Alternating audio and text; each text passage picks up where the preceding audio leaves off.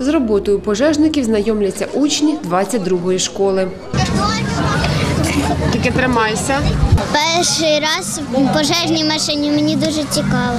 На подвір'ї школи пожежна машина, піротехніки та поліцейські. Для учнів проводять День цивільного захисту. Діти мають можливість спробувати на час розгорнути пожежний рукав. Командир відділення 3-ї пожежно-рятувальної частини Дмитро Турапов старцев знайомить школярів з принципами роботи пожежного підрозділу. Каже, під час надзвичайної ситуації головне не розгубитися.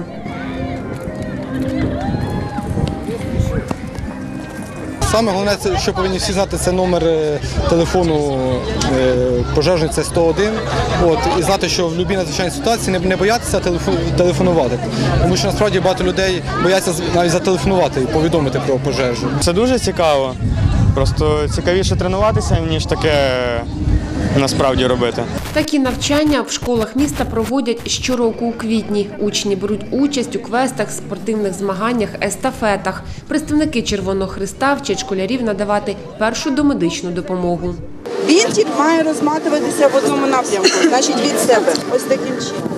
По-перше, потрібно підняти правильно людину, потім положити її на каталку, після чого потрібно дуже обережно її підняти і понести на допомогу санітара або лікаря. Враховуючи те, що зараз в країні йде війна, то вони можуть бути корисними. А на цій локації піротехніки розповідають про вибухонебезпечні предмети. Всі вибухонебезпечні предмети діляться на різні категорії. Це можуть бути артилерійські боєприпаси, мінометні міни, противотанкові міни, ручні гранати, противопіхотні міни. Старший сапер групи піротехнічних робіт Тарас Скрипник говорить, щодня виїжджають на розмінування. Може бути один боєприпас, а може бути таке, що виїхали на заявку один, зверху лежить боєприпас. Е, Після бр- е, перевірки місцевості на наявність вибухонебезпечних предметів в землі знаходимо ще дуже багато.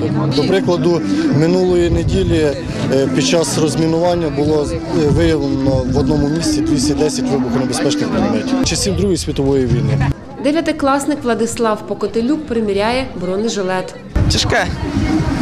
Непрочне чувствуєте желізо.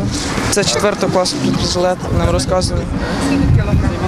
Ну, Кілограм 5. Навчання з цивільного захисту тривали дві години. Школярі взяли участь і в евакуації. Я вважаю, що це надзвичайно е, цікаво для дітей. Вони з нетерпінням чекають цього дня. Ми навіть ущільнюємо трошки навчальну програму для того, щоб вивільнити оцих два уроки для проведення цього. Подивіться, вся школа, вони посміхаються. Вони з задоволенням йдуть на етапи. Вони розповідають свої знання і діляться з ними. Навчання з цивільного захисту пройдуть в усіх школах міста. Наталя Колодій, Олександр Базюк. Новини ЮА Вінниця.